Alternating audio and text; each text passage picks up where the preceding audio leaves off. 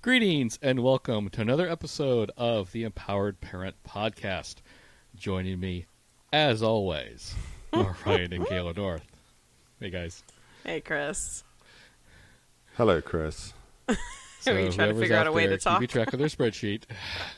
Go ahead and mark as, As always. Marking as always in the category there. Oh my hey, gosh. so, so, it's, so it's interesting about that Holly Talbot who um, who who told us she was going to count. Uh, her and her husband uh, actually ended up taking our most recent session of our, of our build course together, and we kind of got to know them just a little bit. Um, so that was kind of fun to to have the person who's making tally marks at home actually kind of meet them face to face.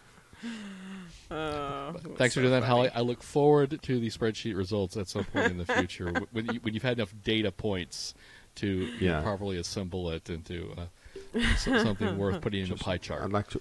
I just want to know what percentage of the time Chris says, as always. As always.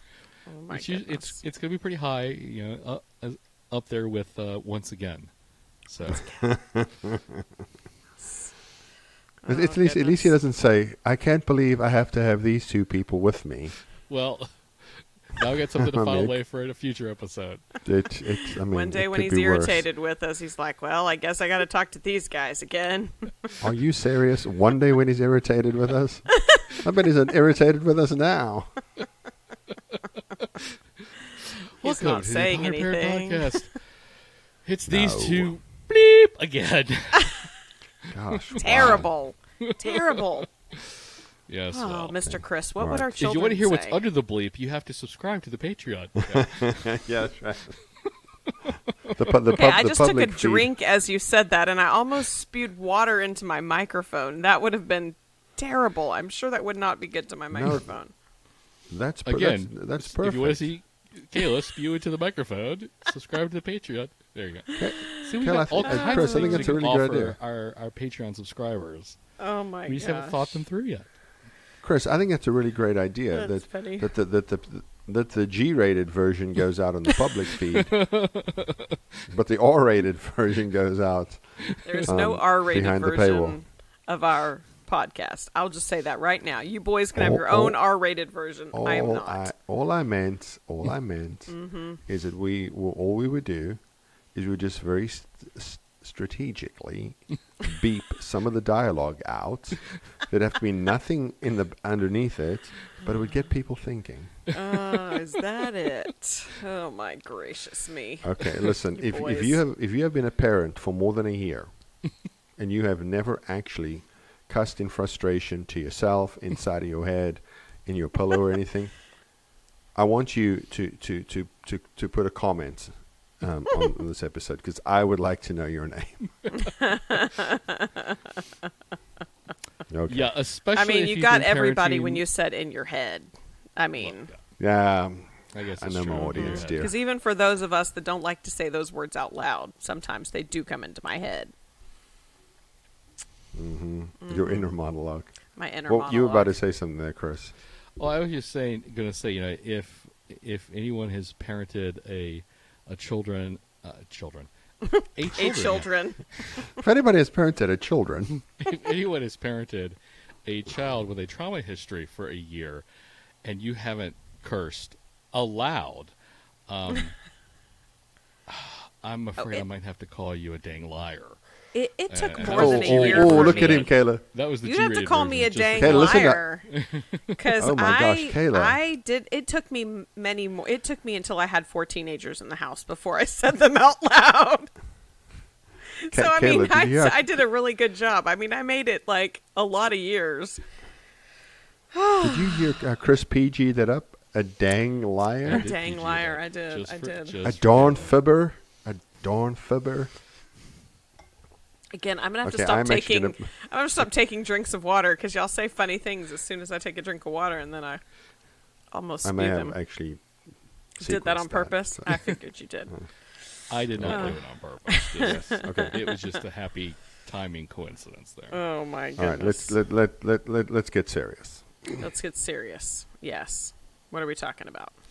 Why, are, if we don't get serious, are there going to be consequences for our actions, Mr. Miller?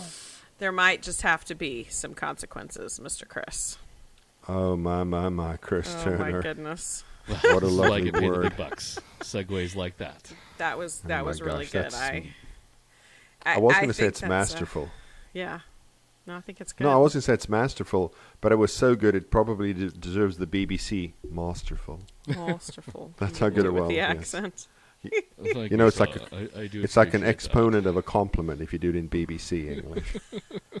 Christopher, that was masterful. Oh Well, my thank you, goodness. Uh, yeah, I think consequences is a good one. That's uh, We had uh, we get questions about that, that all the time. a little bit, I think, last time, or, or we had teased it, if nothing else. Yeah. Um, No, I think uh, no, we didn't tease it. Uh, What happened was um, we were in the uh, the monthly patron Q and R chat, and um, and Carrie Ann Standfest um, actually asked us um, some thoughts and consequences, and so when we were done with that, we all said, Oh, "Yes, yeah. that's a good one to talk about." And we actually actually went back, Chris, and looked, and I don't think we have an episode in any any time in the recent past that talks about consequences, which is a little surprising to me because, like Kayla said, man, people want to ask about them a lot. Yeah. I know we've talked about them in like in context of other things. Yeah. Yeah, yeah, Yeah, just if not we- a, s- if we a had- single episode about them. If we've had a single episode, it's probably way back in the archives somewhere, and so it's definitely something good to revisit as our listenership Right. has expanded and. Eh, Kind of like uh, going back to something a wise pastor once said: "There is no Christianity 102 because no one ever passes 101." And same Mhm. thing with with parenting vulnerable kids. Um, there is no parenting 102 because we we never get past 101. So it's always good to have Mhm. those refreshers. Well, Well, and I think that's a whole other episode to respond to that comment or not. But yeah, for real. but in the context of with this one, I'll say I'll I'll agree with that. Yeah. Well, I think um, when it comes to consequences, the reality is that most of us, that's what we want to do initially. Like, that's our first go to move as a parent is to give a consequence. Yep. And so initially, when people come to connected parenting, we're like, just chunk out your consequences. Like, don't even give them because there's so many other things that you can use. And so when you are trying to help kids feel safe and you're trying to help kids feel connected in a family, consequences are like, like they're not even something we use. Like, if I have a brand new kid in my home through foster care, I don't use consequences. If I adopt a child, I don't use consequences. Ryan's Can I play devil's hands. advocate? Okay, go yeah, ahead. I want to play devil's advocate for just a second because because I'm going to lob the thing out here for this episode that people tell you all the time because I know out of the three of us, you you you probably have the most one-on-one contact with, with people in, in terms of parent coaching. Yeah. But and here's the thing I know they always say to you. Okay, I hear you, Kayla, but how will they learn? Right. How will we prepare them for the real world? The real Ah, world's the not a real world. consequence-free environment. uh-huh. We're failing them by not consequencing them. yeah. I'm just gonna sit back and listen. Okay, so here's here's how I typically would respond to that. I would say consequences have a place, but until like if somebody that I don't trust and I don't see as an authority over me gives me a consequence. Okay? So like some random person says to me, "Well, you can't do that." I'm not going to do it. Like, I don't care if they told me I can't do it or not. If they're not an authority figure that I recognize, I'm not going to do it. And when kids first come to us, they don't recognize that anyways. And so, yes, obviously, we're going to have to teach them that. But the other thing is, a consequence, once you use it, you can't use anything else. Like, you're stuck. Like, if you tell them you're going to use a consequence, you have to follow through with it. And if you, so if you say, if you don't stop screaming, you're not going to go to that birthday party today, they're going to test you and they're going to scream. And then you're going to be like, crap, I already bought the birthday present and I told the parents we were coming. And, and now you, you have to decide like, am I not taking them to the birthday party?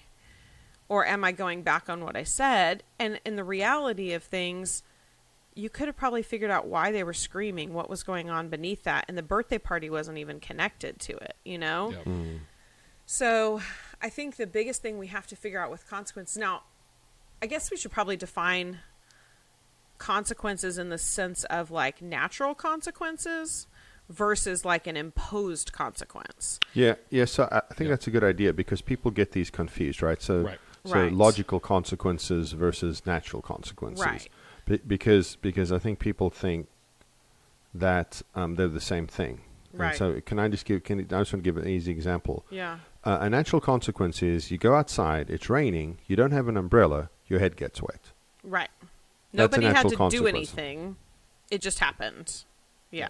Uh, uh, Because a a lot of times people, consequence. s- well, a lot of times people will say, well, a natural consequence is if you don't do your homework, then you don't get to play outside. And I'm like, no, that's not natural. Like, if you don't do your homework, you might get a bad grade, That's or you consequence, you might get in trouble at school because the teacher had you know something that you know even that's a logical consequence in that case. But like, Yeah. you know, there's natural consequences, but a lot of people try and put them on other things.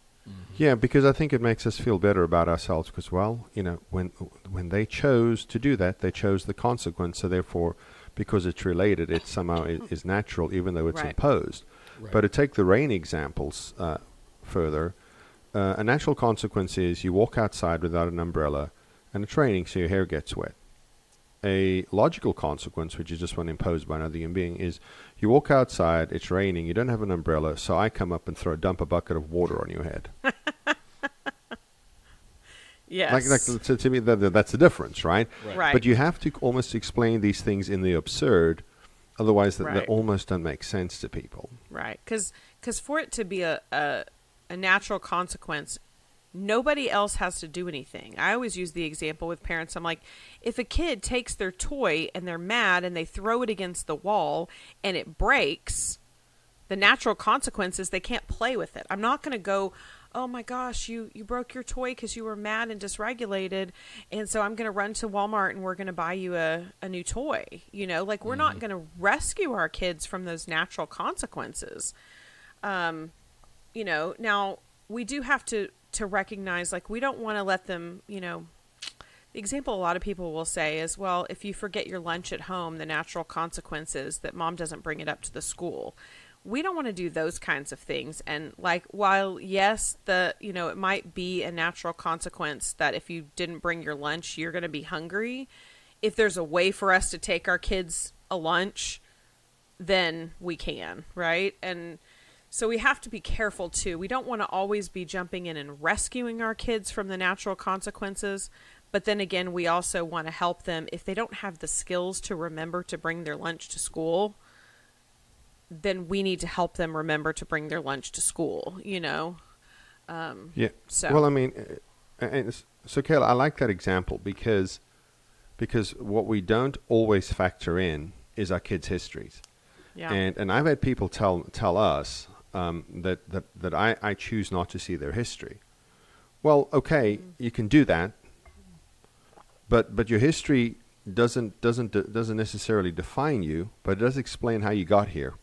right. You know, and I, and I think sometimes we forget that, um, and, and, and, and we want to just ignore history, but we can't ignore history. And so and so this is this is what happened. So I'm um, in, in I started reading this week, Chris, um, the new the new um, book, What Happened to You, the Bruce Perry Oprah Winfrey book. Um, I've only read the first three chapters so far, and if the rest of the book's anything like the first three chapters, I highly recommend it. Um, but in the book, Bruce Perry talks about, and he, and he shares this idea. He says, We love people, we love other people the way we were ourselves loved. And the reason that in the, when your kid forgets their lunch at home, you don't want to bring their, their lunch because you think they're going to learn. But here's the problem your kid may actually um, have come into the system, if they joined your family through foster care, because of neglect surrounding food. Well, like, like, are you considering what lesson you're teaching them there? Because the only lesson you're teaching them there is you're not a safe adult. Yeah. You're not somebody who can be trusted. Right. You're not somebody who can, um, who I can depend on. And so, I mean, we, we, we say this like every opportunity we get. The foundational piece to change behaviors. Step one, creating felt safety. yeah. The kids have to trust you. The kids have to feel safe around you. They have to understand that they can depend on you. And by you thinking that they're going to learn a lesson And and, and remember, hangry is a real thing, right? And so when you're at home and the kids don't snack, they get mm-hmm. dysregulated. I mean, thank you for the gift you're giving the teacher by not sending your kids lunch up there. And then when the kid actually behaves poorly, because predictably they're going to, then they're going to get in trouble at school. You're going to be embarrassed because one of the reasons that parents tend to consequence their kids on top of the consequences that the school dishes out is because we're embarrassed because our, because we think that our kids' behavior is a reflection on us. Right. Yeah. But I will tell you that my, that my mindset and that has shifted over the years. And now my mindset is whether you're a good parent or not is not if you're a good parent is not determined by your child's behavior. Whether you're a good parent is determined by your behavior. Mm-hmm. And, and, and, and, and the thing that people have to get over, because I know I'm a person and I had to get over it, is the intuitive thing to do is like, here's your lesson, sunshine. I'm not bringing your lunch Mm-hmm. up there. But that doesn't help at all because the because whether I meet my child Right. Yeah. yeah because because because then that's because then I'm a poor parent because my child had a real need and I Mm-hmm. didn't meet it. Well, I read a blog post, and I won't mention where, a long time ago. Um, and in this blog post, it was something along the lines of Don't rescue my child. And it was supposed to be from this place of um, my kid has a trauma history, and sometimes they don't listen to me when I tell them they need to wear, wear a jacket outside, and you giving them a blanket is not helping them learn their lesson. And I was like, hold on a second. So you're, and this the setup was basically like, well, I told my child to take a jacket because it was cold outside, and we were going to a sporting. I think they were going to a soccer game or something. So I told told my child not to take. You know, they needed to take a jacket. They refused to take a jacket because they didn't want to wear it. So they were saying the natural consequence is that they were cold at the game. Now, I don't remember all the specifics of it, but what I do know is that that we can in that situation, my kid refuses to wear a jacket. They go outside and it's really cold and they say I'm super cold and we can either say, "Well, I told you to wear a jacket. Now you're going to be cold and you'll remember next time." Or we can say, "Oh, it didn't work out so well when you didn't wear that jacket, huh? Would you like to would you like to wear this one that I brought for you?" Because they were, you know, for whatever reason they didn't want to wear the jacket. Maybe it was sensory, maybe it was, you know, they just didn't really think and they don't trust parents, right? They don't trust Yeah. us.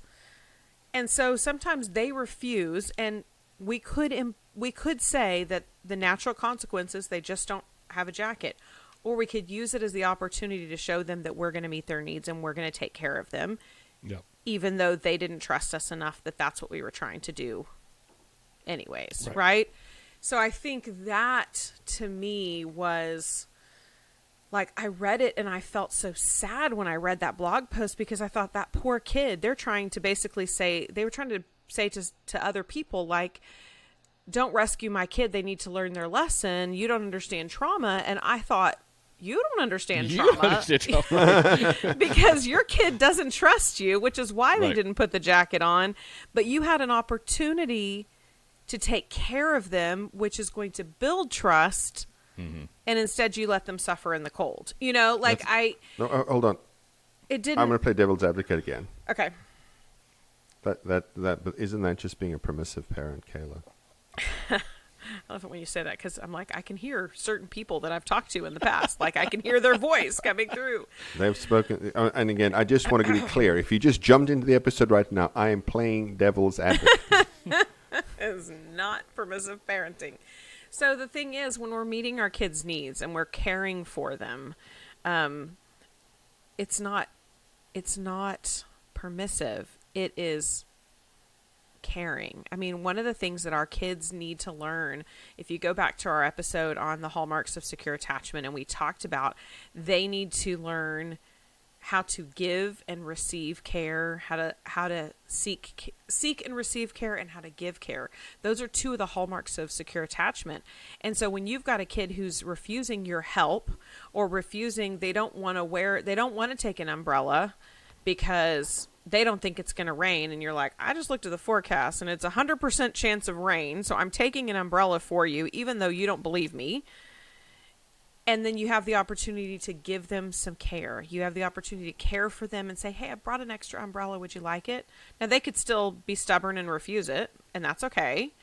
because again, they it, it's not stubborn, it's hard for them to receive care from us. Yep. It's hard for them to understand that we are trying to um, care for them. And you know, I mean, we're we're walking through a really hard season with one of our kiddos, and this particular child does not want to receive care from us. This kid wants to receive care from other people that are not us. And I keep going back to that and going, why is this kid refusing our care? And it's because our care is hard. This kid knows that our care is unconditional. And so receiving our care is hard mm-hmm. and it's easier to push it away, right? Yep. So, I know that's not really consequences, but that's kind of, you know, when we talk about natural consequences, we also have to make sure that we don't we don't neglect an opportunity to give our kids care that they need in that moment, like taking their lunch or bringing a jacket or all of those things. Well, because Hey, it's Chris, about building connection in the first place, right? We want to put connection over consequences. Yes. Amen, brother. yes. Okay, before before we move on from from this point, um, and and I know where you're going next because you've been been ch- text sending me messages in the in the chat of yours. So I promise I'll be, be I'll be brief, but but I just want to respond um, to to what you said um, about the parent who likes to tell the child instead of bringing the child a coat when the child's cold says, "Well, this is why I told you to bring uh, a coat with you." It's ironic um, because because we as parents so often love the using the phrase "I told you so." Oh my gosh! In some version or other, we adore the phrase "I told you so." But here's the irony: the number one reason that we have found over the last 15 years that we've been involved in this work, the reason that parents don't reach out for help and they tend to isolate is because they were told by their mother, their father, their brother, their sister, their granny, their grandpa, their friends, somebody close to them warned them about becoming a foster parent, warned them about adopting, um, adopting, and and when it gets hard, they don't reach out to the people who are supposed to be supporting them because, ironically, irony of ironies, they don't want to hear the four most troubling words in the English language. I told you so. And that's why that's so ironic to me because we love using that, that with our children Yeah. and we avoid hearing it like the plague because we already know Nobody likes to hear nobody that. likes the I told you so person. No, but Right. and nobody likes the I told you so person. But we love Yeah. doing it to our kids. Yeah. Yeah. So we had originally planned to talk about something else regarding consequences tonight, but Because there is I a wanted to time for that. consequences. yeah, yeah. But I want to table that for our next discussion because I really liked where this one went. Yeah. Because uh, again, Kayla, what you, I, I guess to put it this way, the point you kept hammering home because you kept, you weren't saying these this exact these exact words, but you kept coming back to it again and again. Building the connection with our kids is the more important thing, yeah. Hmm. rather than For sure. heaping extra consequences on top of, of whatever natural ones might be there or saying i told you so building the connection because with these vulnerable kids especially the ones that are coming to us out of foster care you know the situations ryan alluded to earlier they're already coming from a situation where they don't they don't trust the adults they're not going to mm-hmm. automatically trust us just because they get dumped into our home we have to build that trust Right. with them and saying i told you so is not going to build trust with It anyone doesn't help. Amen, brother. Nobody likes the I told you so person. Right. Oh. So I guess we'll have to do a different episode on how we can use consequences right in a way that's actually effective after we've built those connections. right Come on now. so sorry if the if you were listening to this episode and we're hoping we were going to tell you how to use consequences, you'll have to wait. You'll just have to do another week of connecting and not using consequences. There you go. There you go. oh my gracious me. So, as always, uh, as Kayla said, you might have some questions about uh, consequences or connecting over consequences. Feel free to shoot those to us at info at onebighappyhome.com. As always, we have our Facebook group for just for podcast listeners. All you have to do is search for the Empowered Parent Podcast community. If you're not already subscribing to our podcast, we'd love for you to do so and give us a rating either on the Apple Podcast Store, the Google Podcast Store, Spotify, wherever you're listening to us from. And if you're not subscribed, please subscribe. All you have to do is search for the Empowered Parent Podcast. As always, the Empowered Parent Podcast is committed to helping parents of foster and adopted kids through connecting, correcting, and empowering principles. Thanks for listening.